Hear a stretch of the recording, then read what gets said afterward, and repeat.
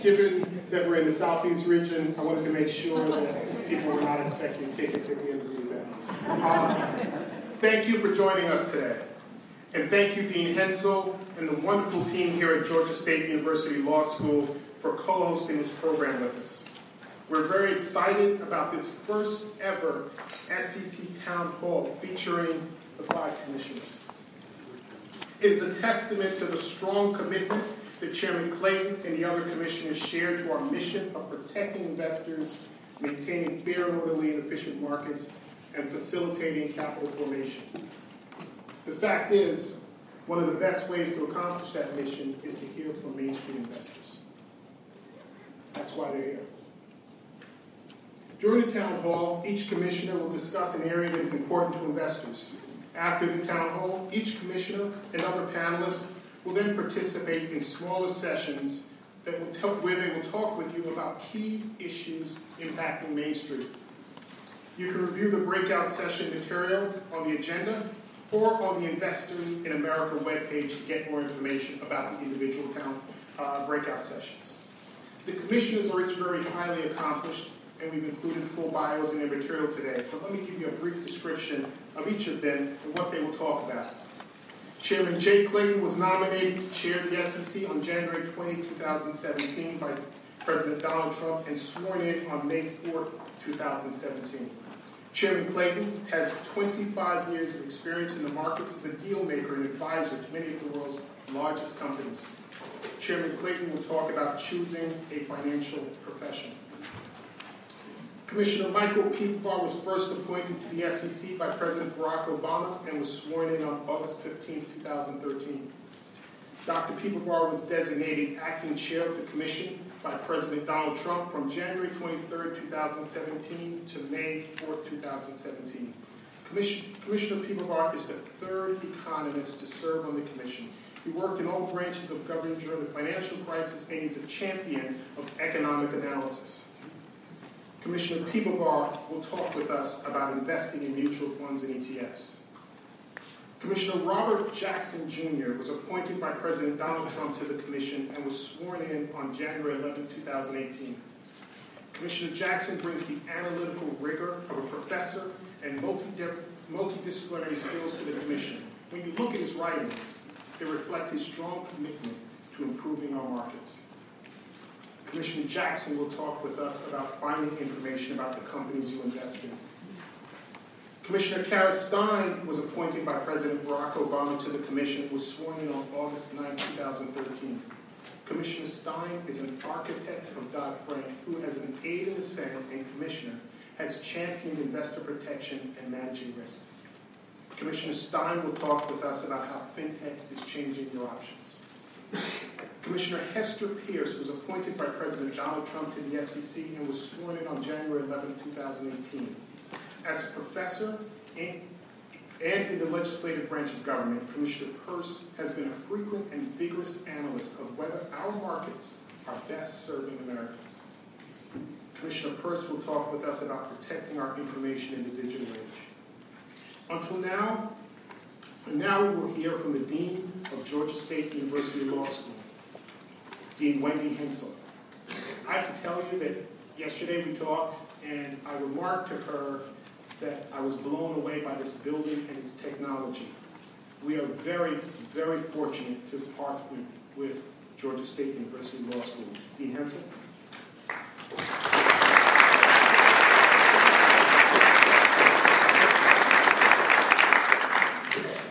Good afternoon. He wasn't kidding when he said that some people might be confused about the SEC. I was speaking with uh, President Mark Becker of the university today and the administrative council, and when I, I reminded them all that the SEC was in attendance today, our athletic director, Charlie Cobb, perked right up. I had to tell him, I'm sorry, Charlie, that is, not uh, what's happening today. It is absolutely my pleasure and a thrill today to welcome you all to the College of Law for this historic event and very exciting town hall with the Securities and Exchange Commission. It is a true honor, and you can tell from the distinguished guests, there's so many of you in the audience today, that if I noted all of you individually, we would not have time to hear what we came for. So I'd like to take just one moment and particularly thank Chairman Jay Clayton, Commissioners Kara Stein, Mike Piwowar, Robert Jackson, Hester Kurz, and of course Rich Best, as well as everyone in the SEC who worked very hard to bring this event here today. It means a lot to us that you chose us for this historic event, and we appreciate it. I also believe, uh, I was told that Georgia Secretary of State Brian Kempen is, is in the audience, and we welcome you here today as well. And finally, to our particularly distinguished guests, those of you who are members of the public, we are extraordinarily happy to have you with us today. We consider here at Georgia State our mission to be a place where important conversations take place and where we discuss the key issues that are facing society and what would fit more clearly into that than the conversation we're going to have today. As Rich mentioned, the SEC's work to protect investors, maintain fair and orderly and efficient markets, and facilitate capital formation is, of course, absolutely critically important to all of us. And that's the same work and passion that's shared by Georgia State University's Investor Advocacy Clinic here, which helps our students and is run by our faculty and is celebrating its fifth year of existence. Our students, under the guise of faculty, represent real people who have real problems with their broker investors with claims that are under $100,000. And our students also engage very directly in policy conversations about regulations that affect these same investors.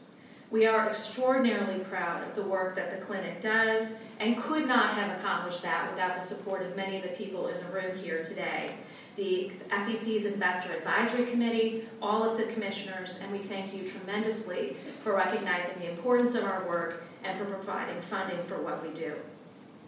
Of course, with all that the SEC does and with all that law clinics do, the work is never done. We are pleased to participate in this event today in the hopes that our investors and those of you in the room never need our assistance and that everything goes as it's supposed to. I hope you all enjoy your time at Georgia State. We're extremely happy to have you here, and once again, welcome to the university. Thank you.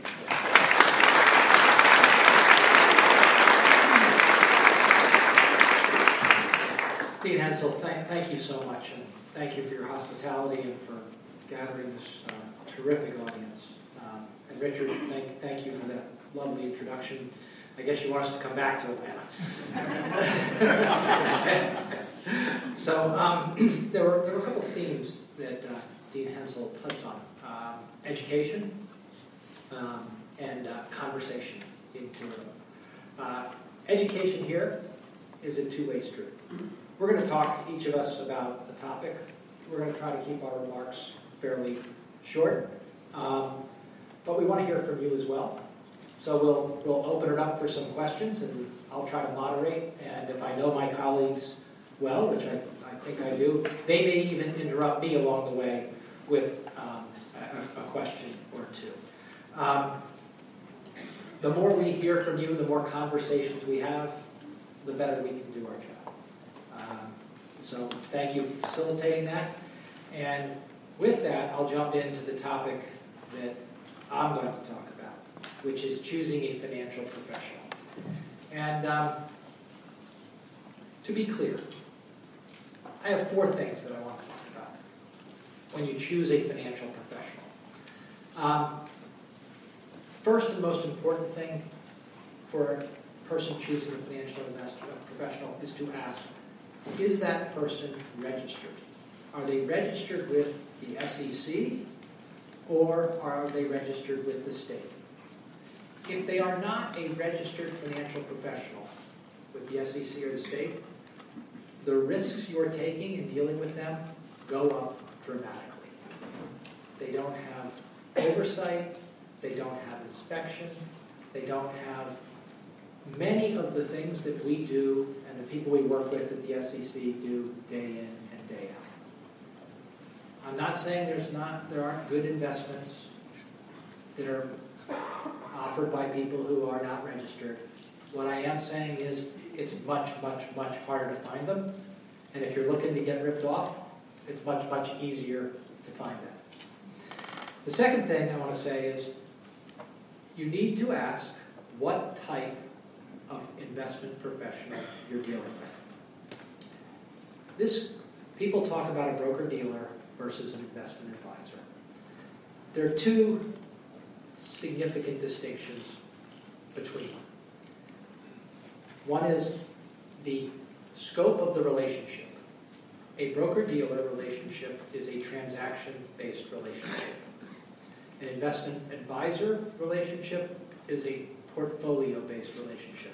Those are like economic terms. Let me try to say what it means in real words. A broker dealer is someone you go to and you say, I'm thinking about buying telecom stocks. I'm thinking about a mutual fund that invests in foreign stocks. Can you recommend something to me? An investment advisor is someone you go to and you say, I'm 52 years old, um, I have a job, I have a 401k, uh, my kids are going off to college, I'd like to save some additional money for my retirement. Help me work through that in light of my needs and my portfolio. So that's the scope of the relationship. Another key aspect of the relationship how are they paid? A broker dealer is principally paid by a commission. What does that mean? When you engage in that transaction, when they sell you the stock or sell you the mutual fund, they charge a fee to do that. There may be some other compensation, I'll come back to that. Um, an investment advisor generally charges you a quarterly or annual fee based on the level of assets that they're managing for you or that you manage with them. So one is a commission, a fee based on the size of the transaction, and the other is kind of a flat fee that goes on. Which one is right for you depends on your activity level and what you want from that person. Importantly, understanding the fees, understanding how they're compensated, helps you understand their incentives. I believe that when you understand someone's incentives, you have a much better relationship with them. How are, in short, how are you making money? Now, I talked about the principal ways people make money. There are other ways that both broker dealers and investment advisors make money. One of the things we're trying to do at the commission is making sure that an ordinary retail investor who's not 25 years in, you know, can understand those fees up front. If they can't be presented clearly, they're probably too complex for a retail investor. Okay. Next thing is the person you're dealing with a person who has some bad history? Have they done something wrong in the past? That's a good indication that they might do something wrong in the future. It's not perfect. People change sometimes, but you'd like to know. It's information you'd like to know. My recommendation is that you don't engage with a person unless you know whether they have any bad history. This is an area where we've made strides together with our friends at FINRA and the states, um, but we can do better. And we're working on making our databases of prior bad actions more available to people in, a, in an accessible way. It's a, this is a wonderful power of the internet. It used to be that if somebody had engaged in a bad act, it was in a file somewhere at a courthouse, at the SEC, and your ability to get at it, forget it. Now, you can know that. And by the way, I think that deters people from acting improperly in the first place. Last thing, and perhaps the most complicated thing, but it's a question you should ask when you're engaging with an investment professional of any type. And if they can't explain this to you, you need to think twice. How much of my money that I'm giving you is actually going to work for me? So when I give you my $200 a month, when I give you my $500 a month, how much of that money is actually going into an investment that's going to make a return for me? Is it $495? Is it $450? That's a big amount off the top. Or is it, you know, very close to $500?